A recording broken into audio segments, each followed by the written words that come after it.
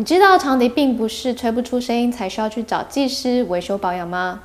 那除了定期找维修技师之外，我们的日常保养又需要注意哪些事情呢？那你知道防止长笛电镀层氧化，除了试音部之外，还有一个更好的方法吗？今天就来一一的分享给你们。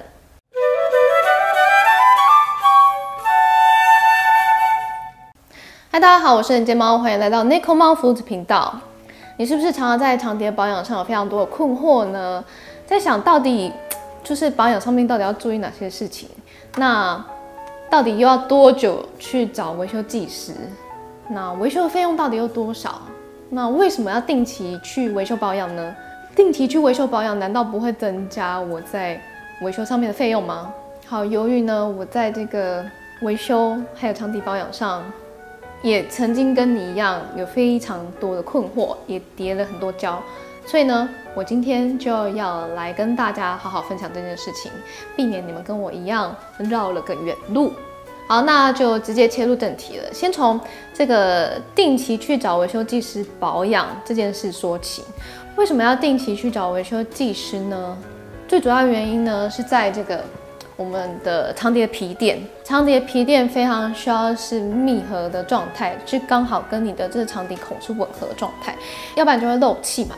那长笛漏气呢，就会吹不出来嘛，就是你会觉得，哎，它没有办法立刻的吹出声音。那你没有办法立刻吹出声音，你就会觉得，哎，是不是你的手要按大力一点？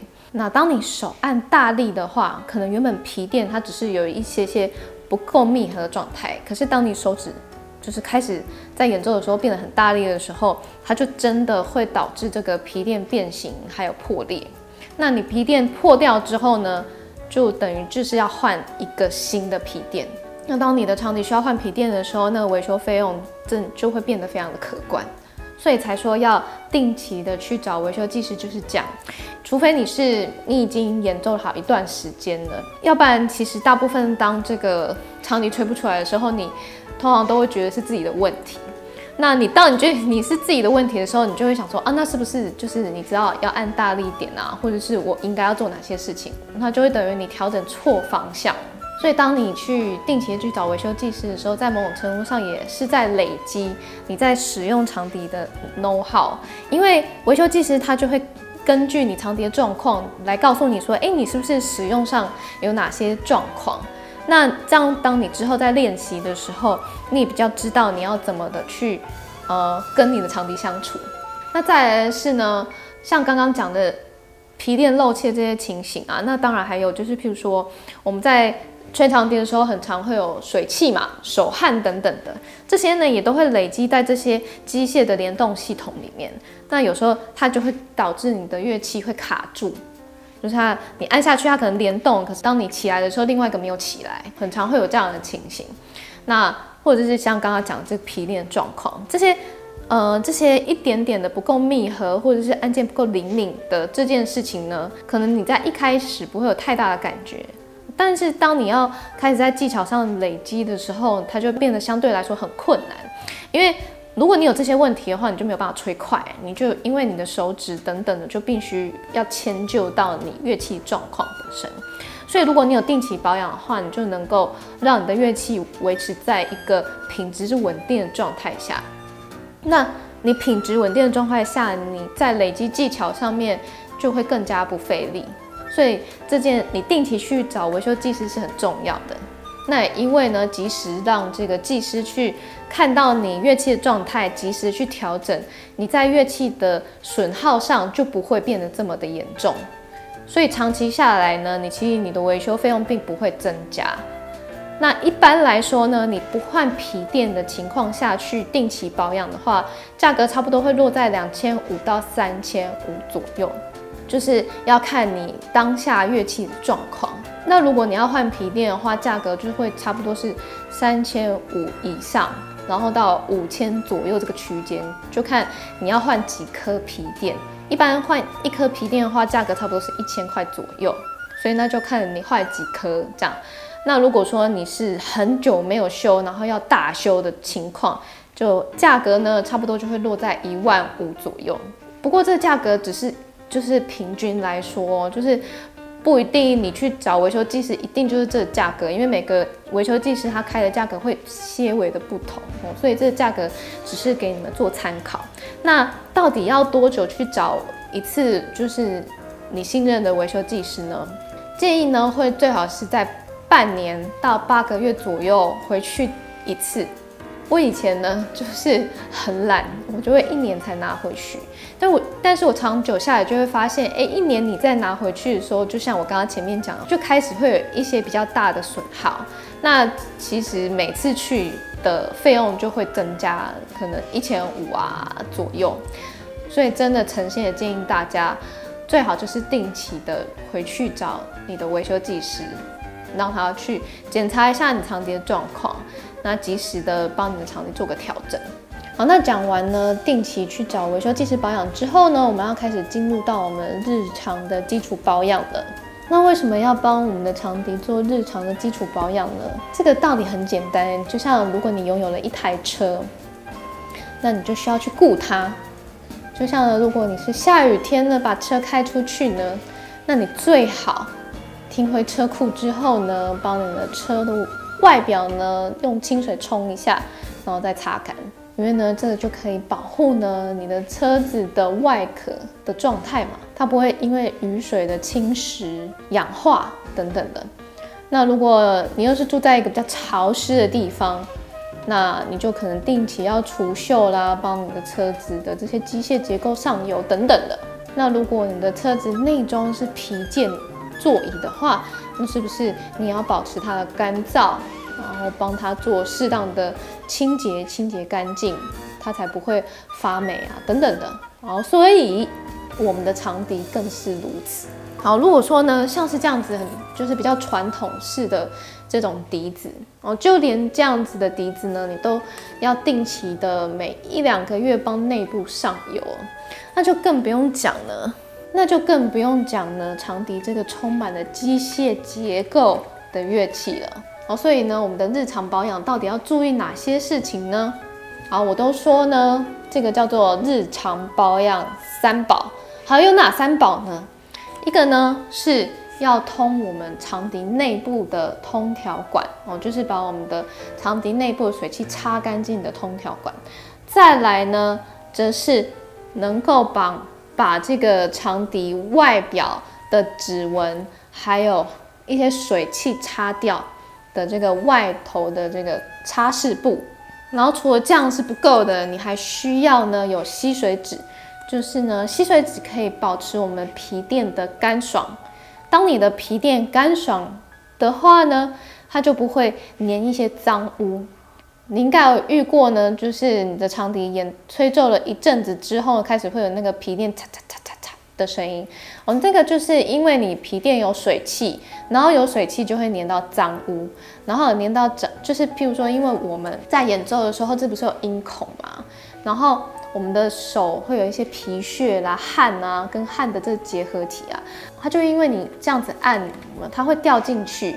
或者是你在演奏的过程当中有气什么的，它可能就会粘在你的皮垫上，或是一些如果你有你家里有养猫啊等等的，有一些毛屑等等的，就是会因为你的皮垫是呃有水汽的状态下，它就会粘着这些脏污。那粘着这些脏污呢，它就开始会有一些黏黏的。这种感觉，所以你就会皮垫就会有那个擦擦擦擦擦的声音。那当粘了脏污之后呢，长期使用之下呢，它可能也会造成皮垫的破裂。所以在你把长笛吹奏完之后呢，去用吸水纸把长笛皮垫吸干是很重要的。好，那我现在呢就来示范给大家看呢，日常的基础保养的这三宝要怎么使用。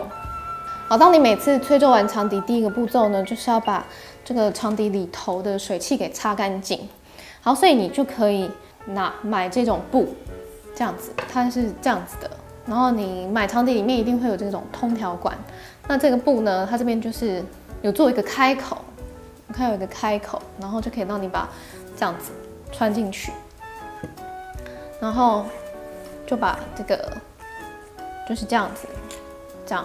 嗯，其实这步骤蛮简单，但是你就是要注意你要拿好，然后长笛拿在拿的时候呢，都小心不要去握按键的地方，它它有那个没有按键的地方，你在清洁的时候都是握这些地方，然后尾管的部分，这样，然后像以前呢还没有这种产品出现的时候呢，我都会用这种东西，就是那个给婴儿擦口水的口水布。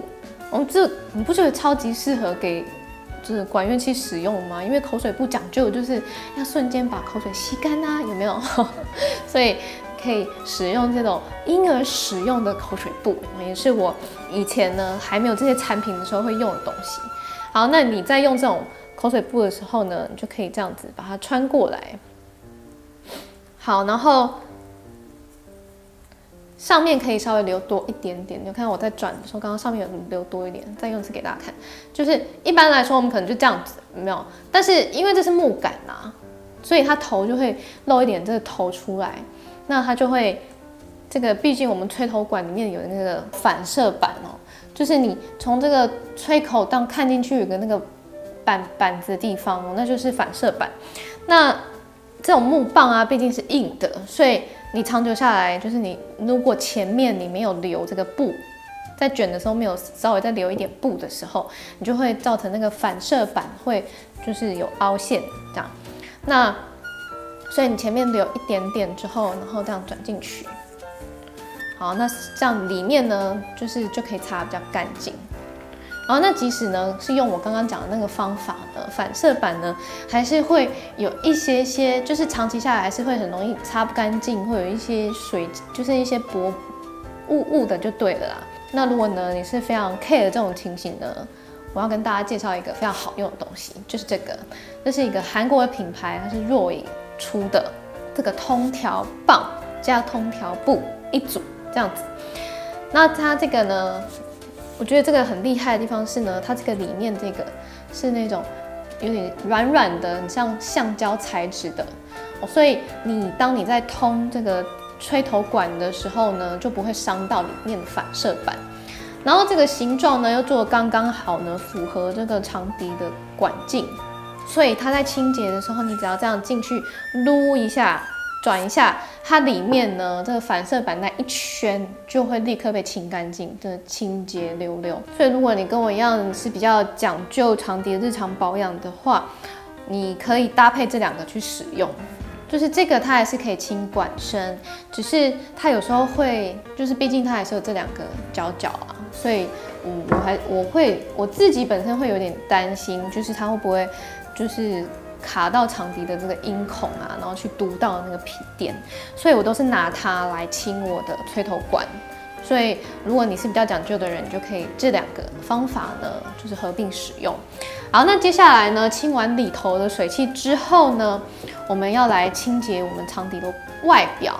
啊，那清洁长笛外表呢，请千万不要拿一般的布哦。我很喜欢这块，也是那个刚刚介绍那个若隐他们家的布。这个布呢就很细致，然后它可以很快速的把这个外面的这些指纹给擦干净。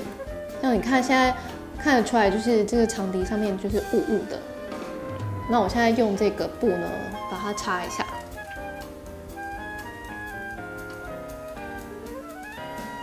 好，那我们再看一下，就是刚刚看的这一块，就明显光滑很多，而且它只要轻轻擦。所以我非常喜欢这块布，而且他们家出的颜色都好好看哦。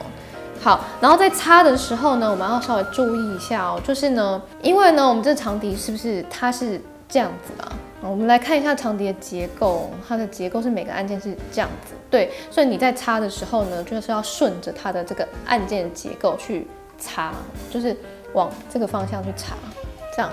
就是你要往这个每个按键方向去擦，就不要这这样左右撸啊乱撸，有没有？不可以。就是你在擦乐器的时候，真的要非常的小心哦。你这样左右撸啊，撸久了，它那个孔就是移位了，那你这样子，你的长笛就很容易会漏气，吹不出声音来。好，那外面的清洁就是这样，没有没有什么太大的技巧，就是刚刚讲的那些事情要注意这样子。那清完呢，长笛外部这些指纹啊、水汽等等之后呢，我们要来把这个长笛的皮垫给吸干净。然后我一样在这里超推，一样是 Roy 他们家的这个吸水纸，非常的棒，就是它吸水能力非常的好。你可能只有一点点的水汽，有没有？它都会，就是它可以立刻就吸掉，这样很干爽。好，然后它有分两面，就是一面比较光滑，一面是比较粗糙的，就是可以吸水的比较粗糙的那一面呢，要跟皮垫相对。好，那我们在吸的时候就是像这样子，哦，就是你把它放到你的音孔里面，然后这样按几下。好，那小心哦，就是我们。到时候我们清完不是要把它抽出来吗？不要是按的按键的情况下把它抽出来哦，这样会造成我们的皮垫磨损。我就是这样按完，然后你按键是起来的情况下把它抽出来。好，那就是其他的以此类推。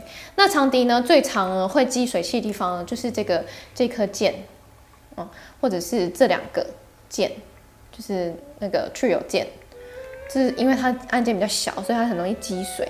好，那所以有时候呢，你在吹，譬如说哆啊这些音的时候，会你会觉得怎么好像吹不出来？你要稍微检查一下，它可能就是这个地方有积水了。哦，那你就要用吸水纸去把它吸干。好，那用用吸水纸呢，用这些清洁日常保养三宝呢，保养完之后呢，不要忘记我们要帮我们这个音孔呢，用这个棉棒呢清洁一下。就是因为呢，我们。不知道你有没有看过一些很可怕的这个没有清长笛的后果？它就是会在这个洞里面呢长出霉菌出来啊，啊，很可怕的。好，所以就是因为我们的皮屑会卡在这个音孔里面，所以你要这样子把这个音孔清干净。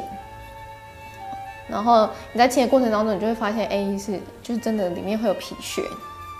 好，然后还有这个长底不是也有这个是凹痕吗？就是它按键本身有这个凹槽，你也可以用这个棉棒呢，稍微这样子撸一圈，这样子，它就可以把一些你可能刚刚用布擦没有立刻擦掉的东西给清出来。那或者是说像这个按键跟按键中间啊这个地方，也长期下来也会积一些毛屑灰尘，你也可以稍微用这个棉棒呢把它清洁一下。啊，亲的时候一样都要很温柔，不要太大力哦。好，这个就是我们日常呢每一次吹奏完笛子都要做的事情。那刚刚介绍的这个日常的保养三宝呢，我有跟厂商谈合作，所以呢我特别开了一个卖场呢，是把这三宝呢变成一个 package。所以呢，如果这刚好是你需要的，你就可以下面有放网址，就可以点进去购买。好。刚刚呢，在讲完这个基础三宝之后呢，你以为就结束了吗？你应该没有忘记我在片头开头的时候，我跟你们讲说，这个避免长笛表面电镀层氧化有一个很好的方法吗？你有没有突然觉得不用再依赖试音部，觉得无限的欢喜呢？好，所以现在就是要来跟你介绍一个我觉得非常好用的产品，就是这个 e s h a n Blight One。这个呢是台湾的品牌，然后呢，它里面呢完全都是植物的天然配方，不含酒精，所以不伤手，也不伤你的乐器。重点是呢，你用它呢，把你这乐器擦完之后呢，它表面会有一个亮光蜡，它可以防止你表面电镀层氧化。原本呢，我以为呢，它亮光蜡呢，就是你知道摸起来会很滑，没有，就是你清完它，就是你的长笛会变得非常闪亮亮之外，还很干爽。那为什么刚刚要特别强调它里面不含酒精？我以前呢都是用这个布哦，然后喷一点酒精在上面去擦拭我长笛的外表。但是后来呢，才会听一些技师分享啦，他们觉得呢，这个酒精呢，毕竟呢，它虽然不伤，它不会伤到长笛的这个外表的部分，可是皮垫很怕酒精。如果你在擦的时候没有注意到。你可能就是会造成你的皮垫会破损，所以你跟如果跟我一样有这个担心的话呢，这个东西超级适合你。好，那在使用上呢，它就是它虽然说明书上面是说你可以直接喷在你乐器上啦，但是呢，我都是这样子，我就是喷在我的布上，喷一点点，然后去擦我的场地。那我现在擦给你们看哦，刚刚呢这块是已经有用这个布稍微擦过了，现在呢再用这个刚刚喷的这个 e s h a n Black One。然后再擦一次，让大家看一下。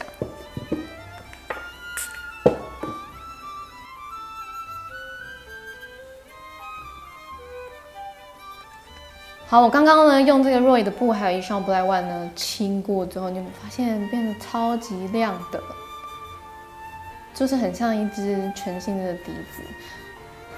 所以如果呢你去你有定期去找维修技师保养，他们会帮你把这个外表呢清干净之后，你就可以持续用这个去清洁你的场地外表。那你就会发现呢，过了一年呢，它还是这样子很干净、很新的样子。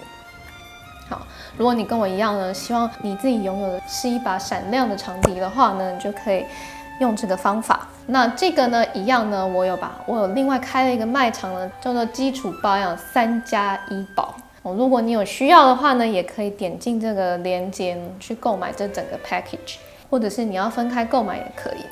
好啦，那今天的分享就到这里了。那先提醒大家哦，这不是叶配的影片哦，这只是因为我实在是太喜欢这些产品了，觉得这些产品我们以前都没有，真的是很棒哎！这个就是这个时这个时代真的很棒，有这些很多人研发这些产品。我觉得这个吹奏完长笛呢之后呢，用这些这么好的产品呢去。